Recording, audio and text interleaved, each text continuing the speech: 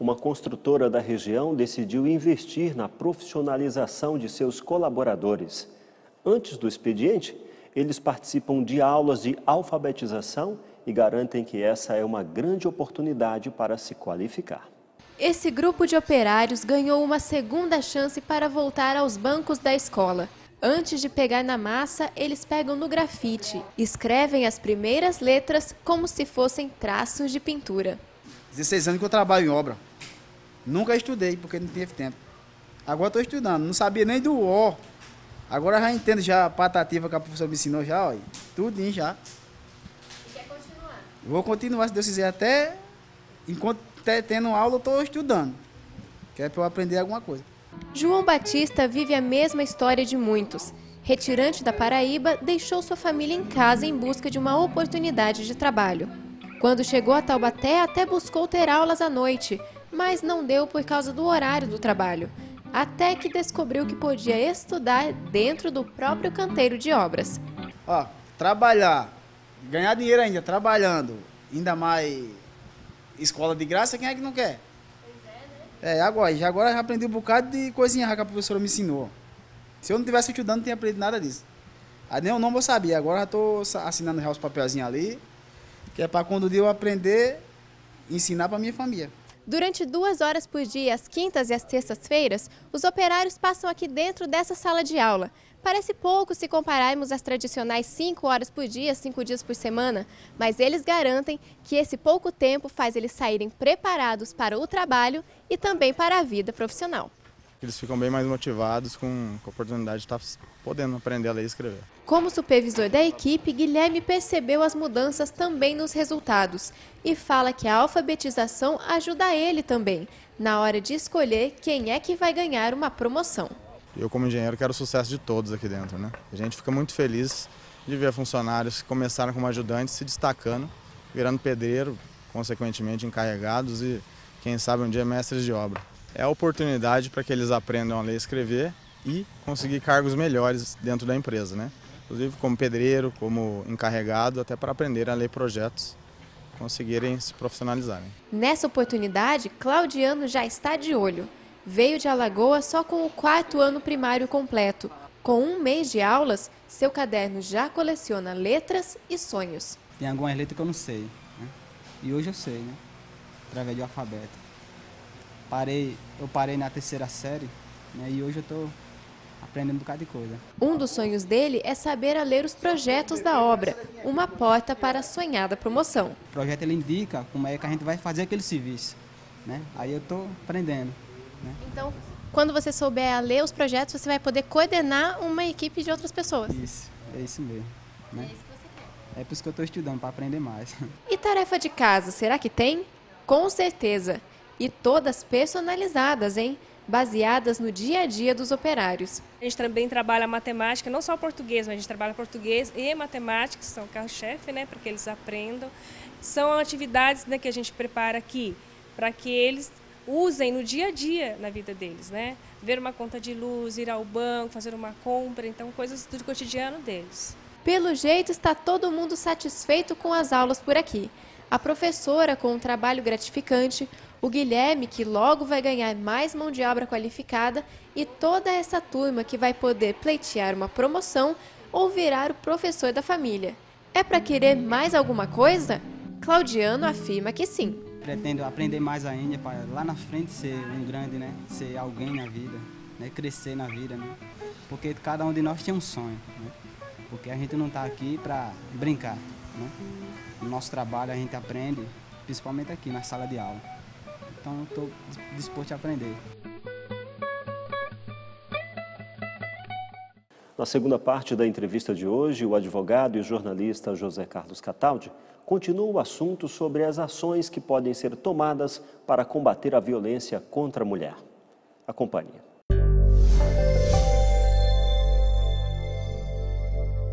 Doutora Maria Elizabeth Bassi é delegada da mulher aqui em Pindamonhangaba, experiente, já está aqui há 20 anos ocupando esse posto, ou mais um pouquinho, né? E está nos trazendo aí aconselhamentos para você, mulher que está em casa, que sofre algum tipo de violência, se encoraje, vale a pena ir lá para buscar a libertação, né? Afinal de contas, ninguém está aqui para servir de. Né? É ser espancado por, por outra pessoa, qualquer que seja. É nem a mulher pode bater no homem, nem o homem na mulher. Ninguém pode bater em ninguém, né, doutora? E, e essa coisa de não poder tirar a queixa, né? Hoje em dia, a, a, mulher fez a queixa, foi lá, fez a queixa. Não adianta vir o marido lá dizer que ela escorregou na escada, que caiu do telhado, porque o processo vai continuar. Exatamente. É, foi uma decisão do Supremo Tribunal Federal que os crimes né, de violência contra a mulher sejam de ação pública incondicionada, ou seja, independe da vontade da mulher de dar ou não continuidade àqueles casos, principalmente sob o ponto de vista de a mulher ter sido agredida fisicamente. Ela não pode no dia seguinte mais retirar a queixa.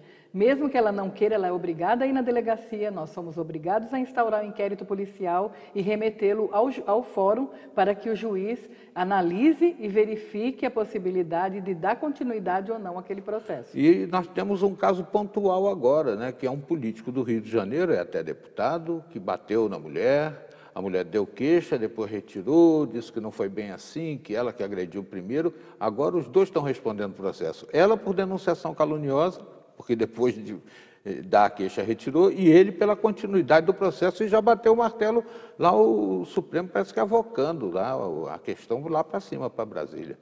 Exatamente.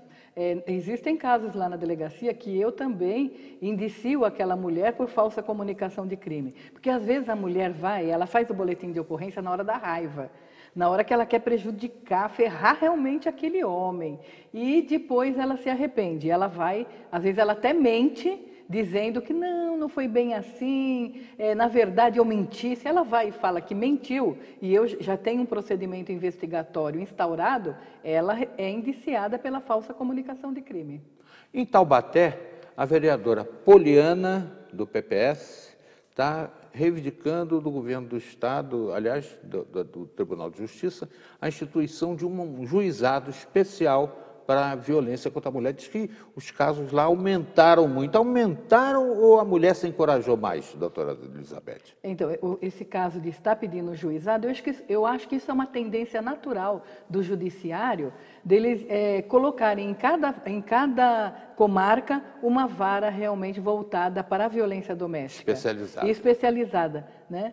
Porque depois podem ser, podem, ali naquela vara podem serem tratados outros problemas, não só mesmo a de violência doméstica, mas dar continuidade a toda a problemática, né, a, todo, a todo o procedimento que gera a violência doméstica, ou seja, a separação, a guarda dos filhos, a própria é, pensão alimentícia. Depois da medida judicial, policial, o agressor fique um pouco mais pensativo no que vai fazer, porque o sujeito é tão covarde para fazer uma coisa dessa que realmente uma ação policial efetiva, de pulso de uma delegada especializada como a senhora e outras colegas tantas que a senhora tem, façam com que ele pense mais é, que ele não tem esse direito de sair espancando ninguém. Exatamente. Quando a mulher pede medida protetiva, o oficial de justiça vai na casa dele e fala: o senhor, por favor, arrume suas coisas, que aqui tem uma medida protetiva é, arrume suas coisas, deixa o controle remoto do portão com a sua esposa,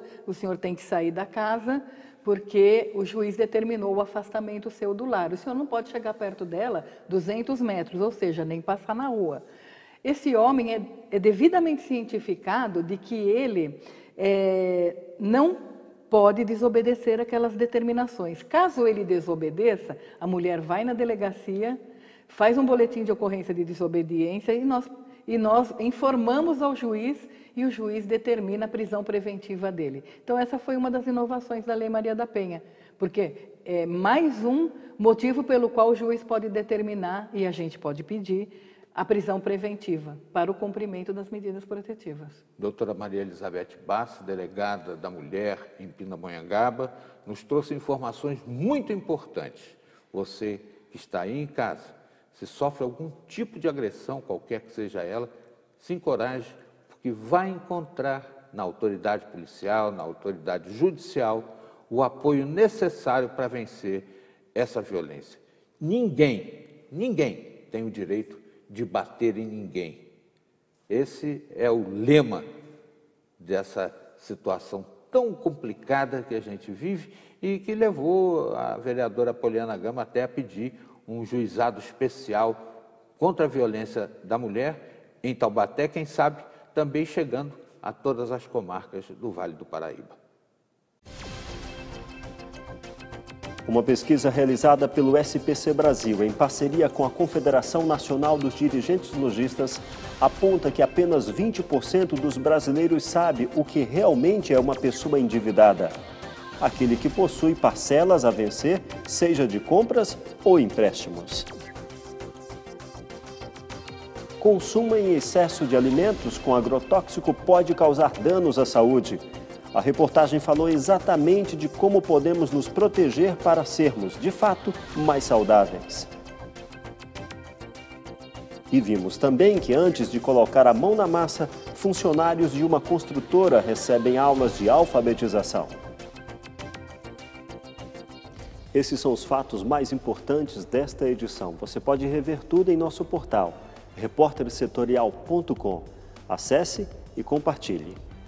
Visite também nossa página no Facebook e nosso canal no YouTube. Eu desejo para você um forte abraço e um sorriso.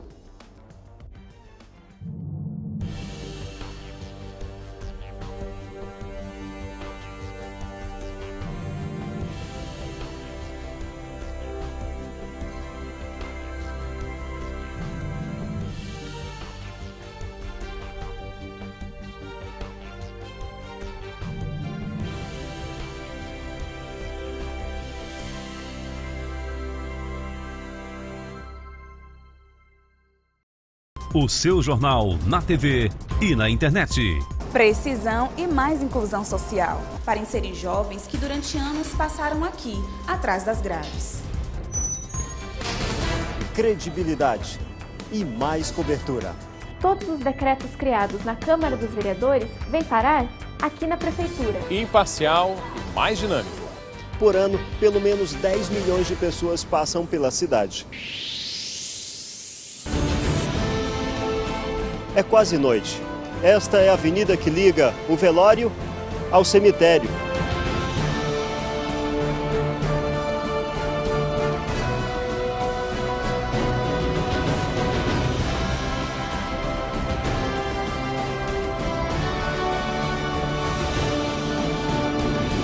Hoje, na TV e na internet.